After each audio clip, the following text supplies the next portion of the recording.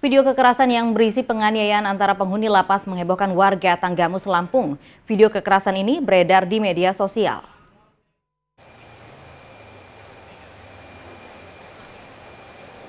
Inilah video penganiayaan yang diduga terjadi antara narapidana di lapas kelas 2B Y Gelang Tanggamus, Lampung.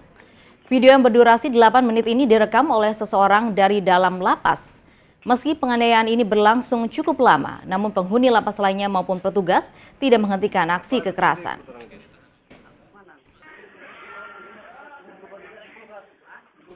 Video penganiayaan ini diunggah ke media sosial Facebook oleh pemilik akun bernama Susilo Budiono.